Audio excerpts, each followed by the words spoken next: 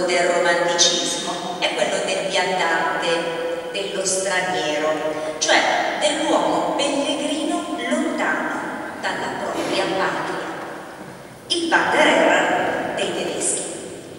È una parola intraducibile che evoca il vagare senza una vita, immersi nella natura. Goethe ha dedicato più di una poesia al tema proprio del viandante Schubert gli ha dedicato una delle sue più belle pagine sui versi di Schmidt von Lübeck. Interpreta il basso Giuliano Giulietti.